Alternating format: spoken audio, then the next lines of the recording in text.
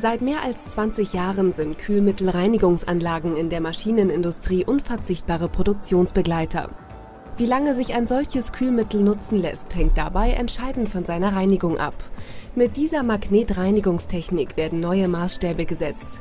Magnete entfernen wirkungsvoll und zuverlässig alle eisernen Schmutzpartikel aus der Kühlflüssigkeit, sodass keine weiteren Filterhilfsmittel mehr nötig sind. Das ist natürlich ein sehr umweltfreundliches Gerät. Zum einen, weil die weil die Energiekosten verschwindend gering sind und weil keine Filterhilfsmittel, keine zusätzlichen Entsorgungskosten und Entsorgungsprobleme dann anfallen, wo die Umwelt entsprechend belastet wird.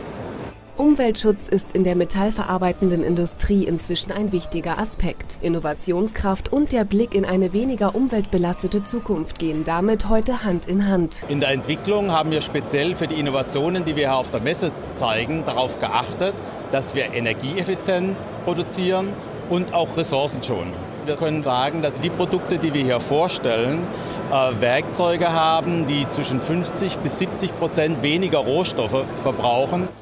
Neben Nachhaltigkeit wird auch intensiv an leistungsfähigeren Werkzeugen gearbeitet. Kamen bei herkömmlichen Schneidewerkzeugen zwei Schneiden zum Einsatz, können heute zum selben Preis gleich sechs Schneiden arbeiten. Innovation, Effizienz und Produktivität. Schlagworte, die auch auf der EMO Hannover 2013 eine tragende Rolle spielen und damit auch die Nachhaltigkeit ins Spiel der Maschinen bringen.